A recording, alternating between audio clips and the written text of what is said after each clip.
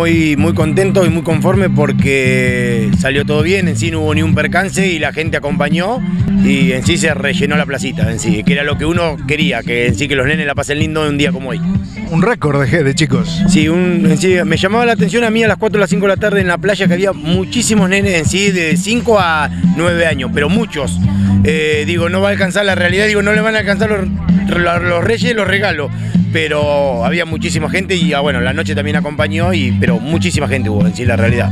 Bueno, y más de uno que disfrutó también con la excusa de los chicos, algunos grandes que habíamos en la placita que también disfrutaban, ¿no? Sí, sí, se portó en sí, la gente también, la gente grande apoyó, eh, se prendía en cualquier juego y bueno, vamos a, a, inventar algo para el año que viene que también quede así, e inventar algo para los grandes para pasarla lindo también. Hoy la plaza ya se agrandó de por sí.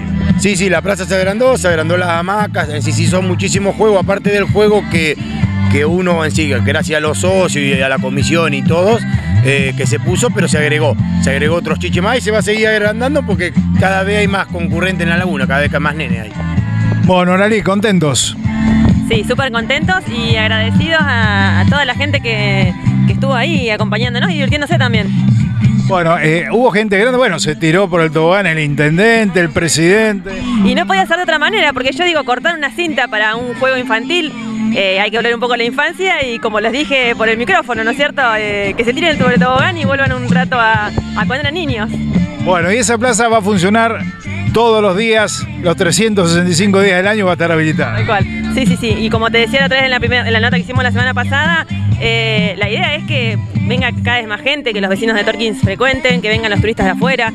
Eh, no sé, acá hay muchos frentistas que son de afuera y, siempre, están contentos y, o sea, cuando nosotros iniciamos con esta propuesta, eh, súper agradecidos porque ellos no están acostumbrados a este paisaje, a esta tranquilidad y bueno, los nenes, como decimos siempre, se manejan solos, eh, con esta libertad que, que, no se cambia por nada, así que disfrutando.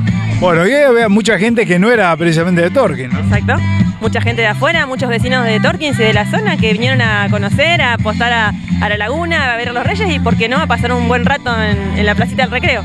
Bueno, hoy lo charlamos con el intendente. Qué importante cuando de las cosas simples se puede lograr semejante evento y semejante propuesta capaz de reunir a toda la familia. Tal cual, por ahí eh, lo que yo siempre lo que pensábamos nosotros en noviembre cuando, cuando iniciamos con esto, por ahí es una. En estos tiempos es. es bueno, él también quiere hablar. Sí, sí, sí, que va a ser locutor. ¿Vas a ser periodista?